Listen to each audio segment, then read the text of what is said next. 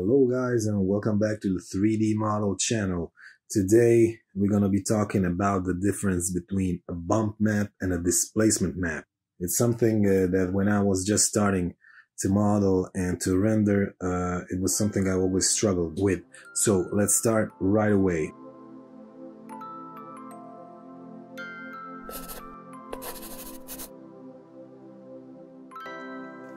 Let's just open the V-Ray toolbar.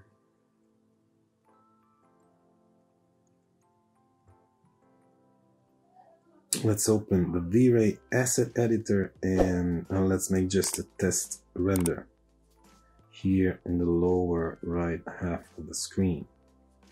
Let's create a material. Let's call it red. We're going to use a texture image and we're going to create the same material but with a different color using another texture image this one here called blue and we're to name them blue and red. And now we're to just apply the materials. This is these are just two faces. They are not grouped or part of a component. They're just free geometry.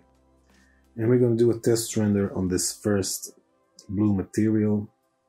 And now we're to go into the V-Ray asset editor and we're to add a bump map. Clicking here, choosing bitmap, finding it on your computer, and that's it. Both bump map and displacement map work in the same way. The black part of the image is going to be lowered and the light or white part of the image is going to be pushed up now we're going to do the test render and you can see there is a shadow here where before there was not.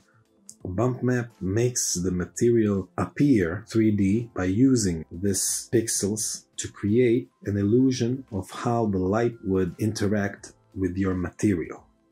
So it doesn't change the geometry. The displacement map does exactly that. It creates additional geometry. So now let's add a displacement map for the red material. As you can see, by default, uh, it doesn't have a displacement layer.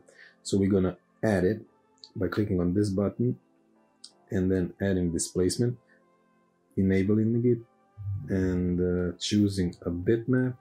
And we're gonna choose the same map that we use for the bump just for the sake of showing the difference. Now let's do the test render. As you can see, nothing happened. And that's because, and this is a common mistake for beginners in V-Ray for SketchUp, for a material with a displacement map to work as it should, it needs to be in a group or component. Not only that, but the displacement material needs to be applied to the component. In this case, as you can see, our plane has the material applied but the component itself, it doesn't. So this is a little bit tricky, but you need to remember that. We just apply the same material to the component, or to the group in our case, and that is it. Now the displacement map has made this effect. Here you can change the amount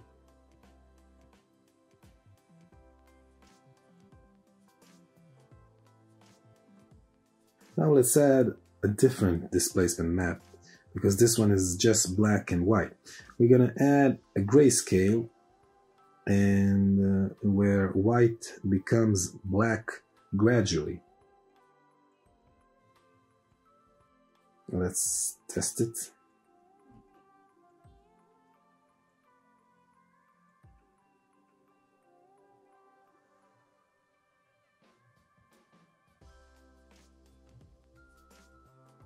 Now let's try to, to see what the displacement map can do for a real world material.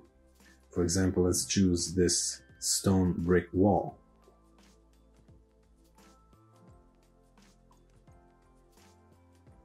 In this case, we are not talking about a plane as in the past two examples, but here we have a block in three dimensions. And let's add the displacement map and test render.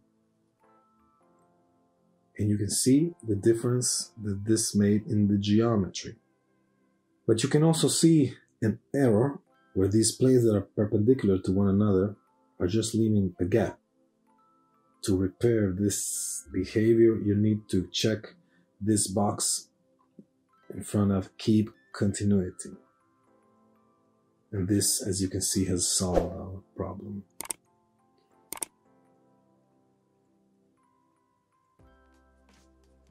Now let's just, for the sake of it, remove our diffuse map. Now it's just a gray diffuse map with only the displacement map.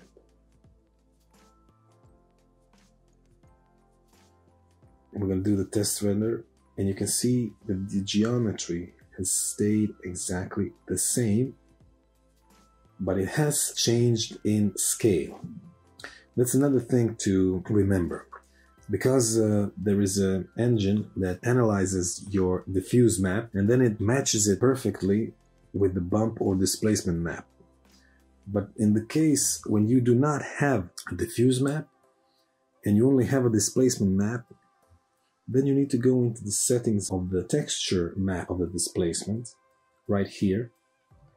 And you need to change the repeat UV. You can lock it so the aspect ratio remains the same. And so you can see that uh, we actually scaled our displacement map. Just remember, you do it right here. So this is probably all I had to say about bump and displacement. I was actually talking a lot more about the displacement than the bump map since bump is uh, fairly simple. So I hope I helped you in understanding it more. And uh, thank you very much for watching. If you like this video, please consider subscribing to my channel. I put out videos every Tuesday and Friday and I will talk to you in the next one. Goodbye.